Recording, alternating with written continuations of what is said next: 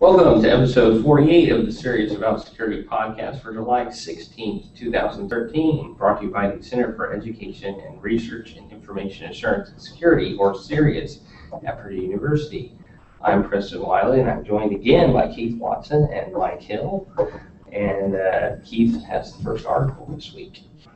So uh, we're going to talk about Android because we kind of love Android and its various vulnerabilities. And this one is going around by the title of Vulnerability with the Android Master Key. And that is probably the worst title known to man because that's not actually the issue at all. The, issue lies in the way the verification of files in the application package archives are verified. And Normally, there's a meta info uh, file which lists all the files in the archive and the checksums associated with each file. So when they're installed, they can be validated to make sure they installed correctly and that they're not malicious. But it doesn't necessarily check very well because you can actually insert additional files into the zip formatted archive file and the check will verify the signature of the first file in the archive. And if you created a second file with the same name, it would actually install the second file, or at least overwrite the first file that was installed with the second file. So this is a, a little bit of a bug in, in the way the unzipping utility works. And what you can do is you can take a perfectly good signed application package archive file and assert additional malicious files in that archive. And it will check that the checksum is correct for the first file, which is the legitimate one, and then override it with the second one, which is the illegitimate file. Um, unfortunately, it's been going around with this Android master key title on it. There's really not a key involved unless you consider that key like key to exploiting the system or something. I'm not quite sure the name other than uh, a way to grab publicity. So talk a little bit about this one? Yeah, well, you know, I don't see this as a, a real major concern. Um, Google's already released a, a fix for it. Um, I think the biggest issue here is, you know, you'll have to wait to get a firmware update. And depending upon your carrier, where you got your phone, your device, you may not get that update. Uh, but I think to stay on the safe side, if you're using the Google Play Store to download your apps, you're probably like 99% safe. Google's aware of this, they fixed it, and you can bet that they're going to be aggressive in monitoring the store. I mean, they know about this vulnerability now. As they check apps in, I don't. I think they're going to be checking for this. Well, any app they check in is going to get signed first, so that they're going to recreate the package archive, I assume, or at least verify it, like you said, go back and yeah. validate it. So I think if you're using the standard Google Play Store or other trusted stores where that, I don't know who that would be. Maybe Amazon. Amazon. Uh, that might be the other one. Uh, you know, you're probably okay. It's when you start side loading stuff or, or using uh, other application storefronts that you may get into trouble because you don't know how well they verify what's going into their store. Right. Well, I use an Android. In fact, this is an Android, and I'm not too concerned. So, um, I, I use. Your lack of concern is reassuring. well, I use the Google Play Store and the Amazon Store. I use both of them. Um, and I also do sideload some, a few applications from places that don't use the stores um, to, to put their applications online. But, you know, I get them from their official area on their site. I don't get them from other, I don't get them in my email, or I don't download them from untrusted sources. I get them from their, from their site, and I know where to go to get them. And, you know, I, I, I trust, I trust the, the few, the few that I do do that with, I, I trust the, the sources enough to install them. yeah, I think this one, uh, PR-wise, like you said, Keith, title really is just kind of going for the publicity. Um, I think the, whatever developer worked on this zip, unzipping software just didn't consider this scenario. And, and, it can be difficult at times to consider all scenarios that, that may occur. It's, a, it's a kind of clever, but when you once it's revealed, it's like, oh yeah, that's not that hard to try. But um, you know, if your assumption was that you're only going to have one version of each file in that, then you could see where it would have worked as expected. So I don't think it was hard for them to fix, you know, I think it was just an oversight. Um, So, you know, I think you can continue to use your Android devices, at least if you're using the official stores. If you, if you want to live dangerously, you know, uh, do like Preston, do like Preston and do some side loading. But, you know, I think, though, just, you know, teasing aside, if you trust the source, you know, it's all about trust in, in this business, I think, so. I think the exploit is quite clever. I mean, Yeah. to go into a little bit of detail, uh, the, the, an APK, the, the, uh, the Android package file is, uh, basically a zipped file. And, uh, it has a bunch of files within it. And, uh, the zip, uh, uh, protocol, I guess, allows for, uh, multiple files with the same name to be in an archive generally when you use a zip utility, the zip utility will not allow that just because on the disk you can't have two files with the same name.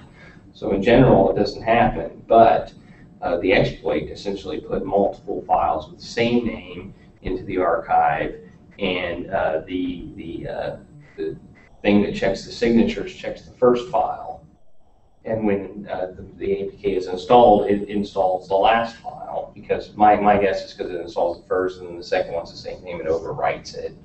So, so the exploit essentially just puts a duplicate file with the same name as the previous one in there, that is the malicious file.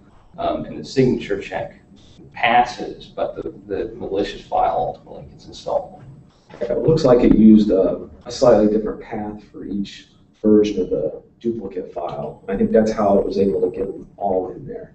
Because if it was at the same path, you could only have one in that zip. Well, most likely they went in and, and took the existing archive file and then appended to it. Yeah, Using a utility to Using utility. that. to add. And it, it appears that the, the Android actually, Android system uses the Java unzipping library, which probably is where the bug lies.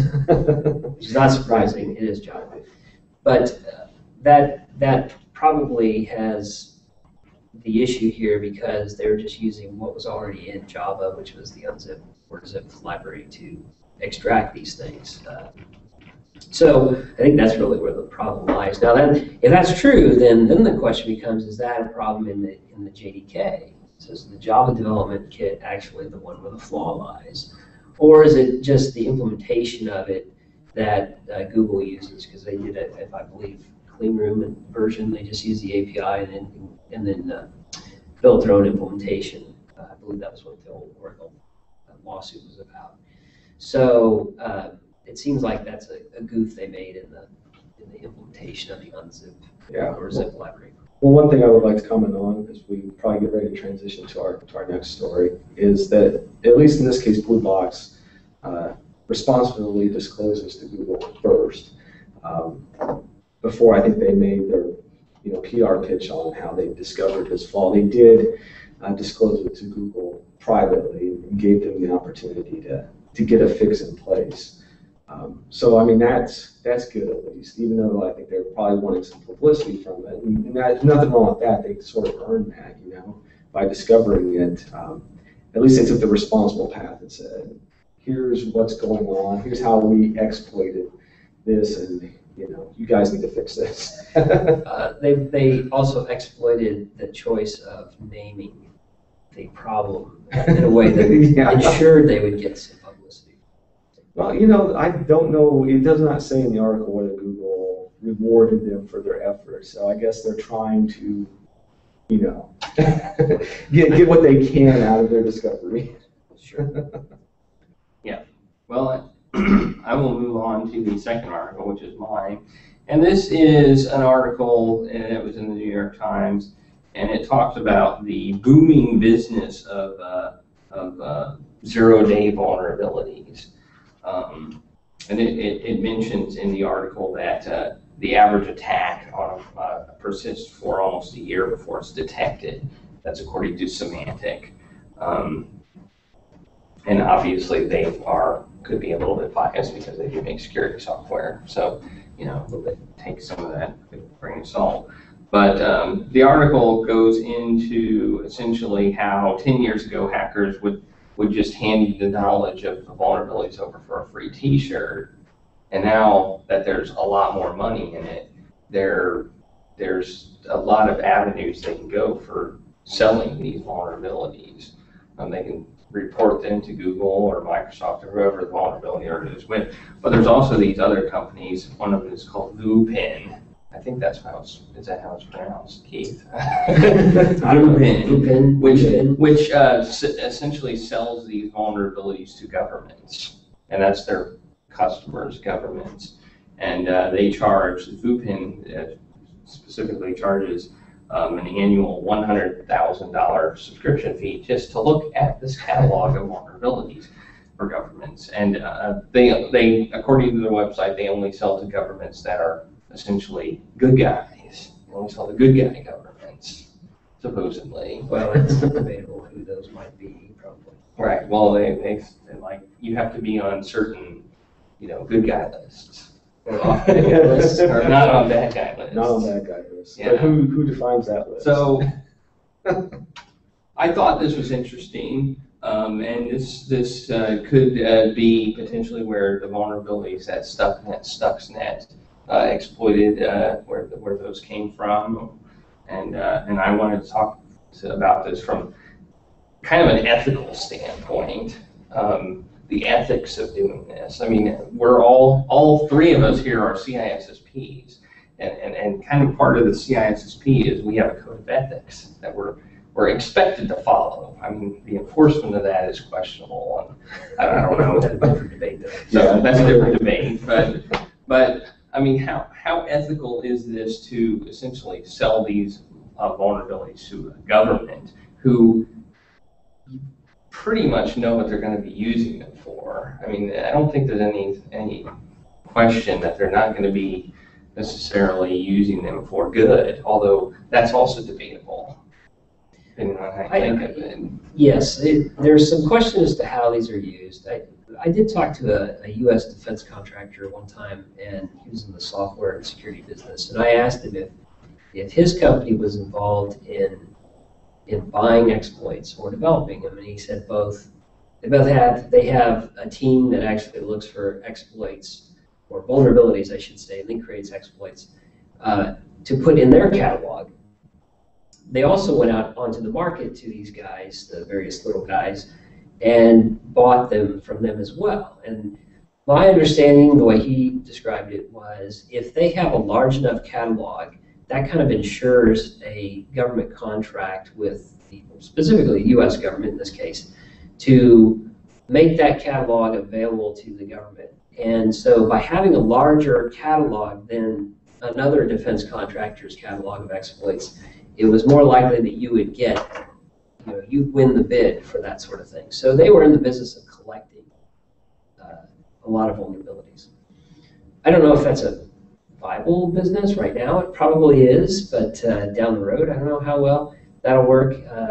Because as you pointed out, a lot of these smaller in, you know, individuals, hackers, whatever you want to use as a term, would give them to the original vendor. The vendor would then make a patch, and then that has now become a new economy. And we're now trading in vulnerabilities. And the, those that are affected by it are not just other governments, it's individual citizens, it's companies trying to do business. So then, as you go, as you point out, there's an ethical concern here. You're not attacking governments, but you're release, you, you have the, the weapon, if you will, to attack anybody with uh, a device, an account.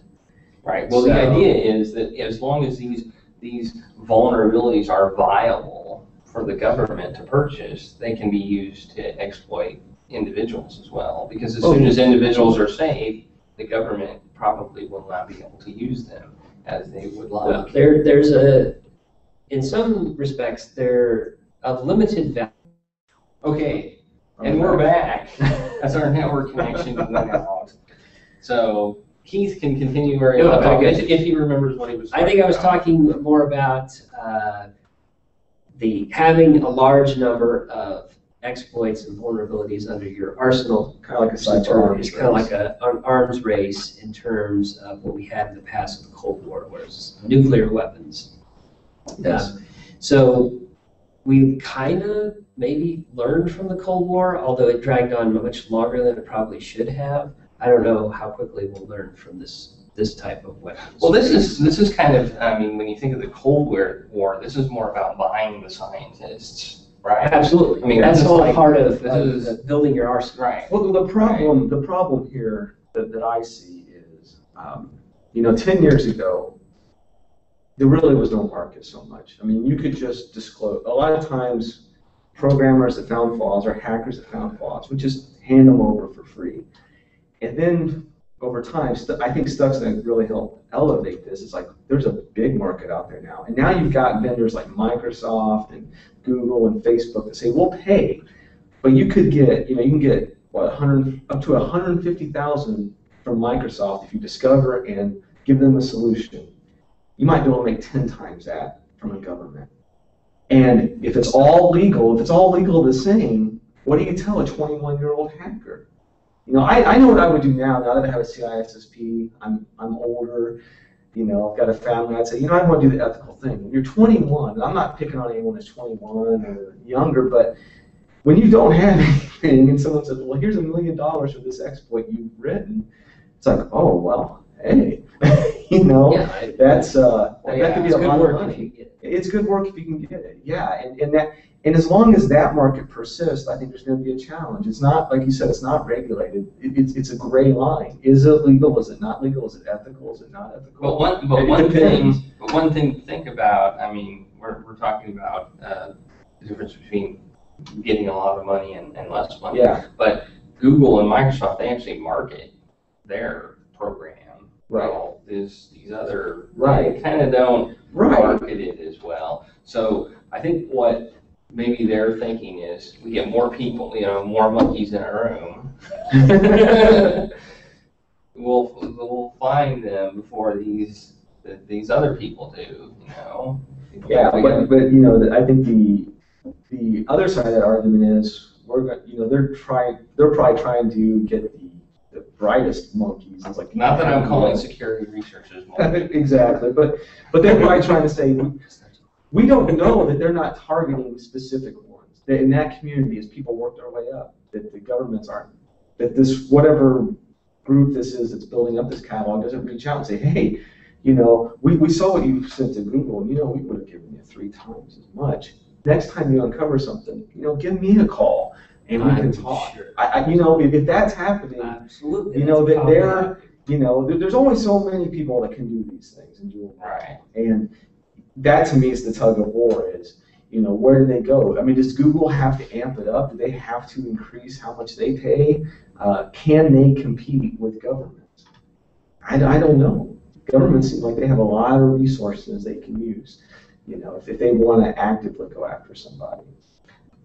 But back to my original question, is it ethical? I mean, would you, you consider this ethical to even sell these to this party who's gonna end you- up selling them to a government? If you subscribe to the ISC squared code of ethics as an example, it talks specifically about protecting the community. Although the exact words I don't recall. offhand. But it's about protecting the greater community, and I see that as worldwide community. Mhm. And so if you follow those, that ethical standard, then no, I don't believe it is. But uh, again, a lot of these companies don't subscribe to that level of, of ethical standard.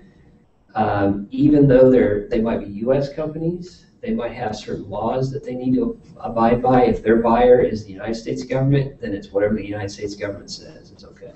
Yeah, I was gonna say, if you're a US citizen and it's the US government that wants to purchase it, is it ethical then? You know, I Well, mean, the fact of the matter is, you're still leaving a vulnerability exploitable. exploitable, I mean, yeah, if you sell it to these companies, they will not report it to the vendor, and it will remain unpatched for some criminal potentially to find as well and Yeah. exploit other users if they find it. And I think the only way we're gonna get a definition of how this was gonna work in the future is if for some reason a uh, vulnerability is sold to a company, that company sits on that information or sells it to another foreign government, let's say.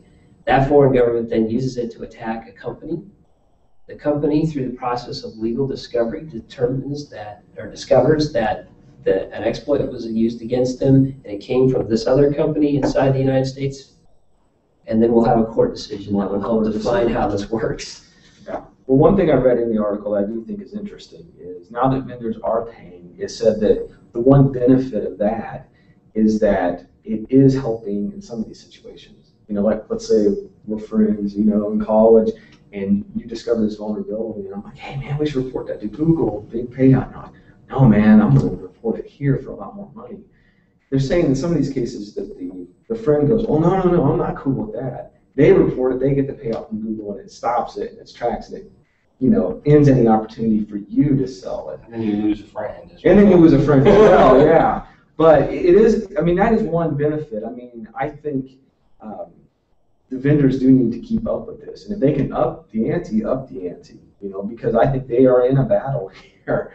Uh, There's a market, and there's a market that'll pay more. And, uh, you know, I think, my general opinion, this is just, you know, opinion, I think most people want to do good. And when there's a legal, legitimate way to earn, you'll do it. You know, you think about music before iTunes came along. You know, people were just downloading because they needed the music in that format. When iTunes came along, it's like, I'll give 99 cents for that song. I think people want to do the right thing when it's clear cut. So Um, I, I don't know about that. you don't agree? I, I don't know. about You don't- that. you don't People are think hackers- motivated by money, I think, in this particular economy, and, and, you know, whoever pays the highest. Well, yeah, why do security research- researchers look for vulnerabilities? I mean, that's the question. And, and, and- and there's a lot of different reasons. Yeah. I mean, some of them What's is the just motivation? be- because it's fun.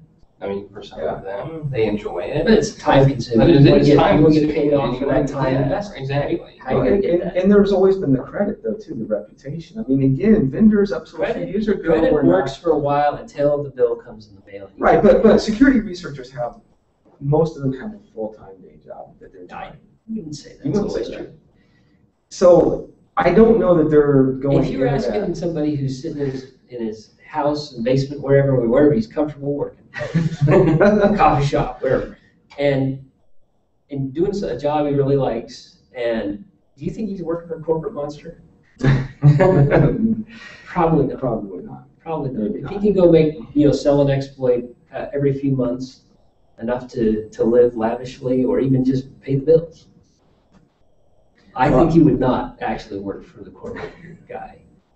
And Given that situation, and I had little less ethical quandaries about this, I'd probably do that. I'm not very good at, at that sort of line of work. Well, I, just believe if there's a, a legitimate, good, respectful way to earn money from these exploits, that that will draw a large number of them. It won't draw them all, but I think ethically, when it's clear cut, So like how you said, define that?